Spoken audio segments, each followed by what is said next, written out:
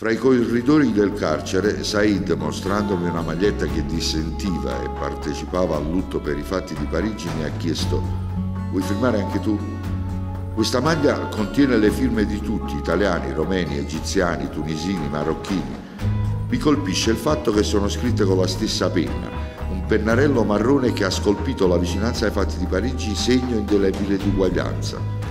È un manifesto voluto dai musulmani presenti nel carcere di Villa Fastigi, che oltre al cordoglio, la vicinanza alle vittime, vuole prendere le distanze dai concetti pseudo-religiosi che firmano l'efferatezza degli eccidi.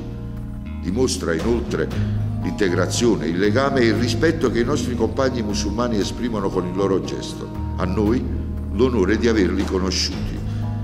L'Islam non è l'ISIS, la religione non vuole il sangue, la religione insegna che il credere nei valori giusti ti renda uomo giusto ed è del giusto il regno dei cieli, questo dicono i testi sacri. Non sarà mai giusto l'uomo che sopprime un suo simile.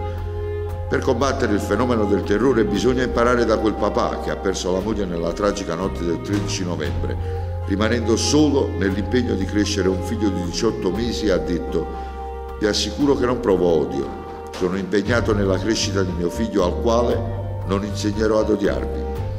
Manifestazione di continuità e coraggio, vita e futura, civiltà e miglioramento, voglia di cieli azzurri, di fiori, di colori, di profumi, di passato e di presente, con la volontà di combattere il nero delle vostre bandiere.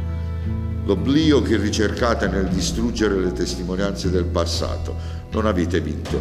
Ogni qualvolta ponete in essere un atto stragista, voi perdete. Io non solo firmo questa maglia, ma la indosso a mo' di divisa, quella dell'esercito multietnico degli uomini giusti.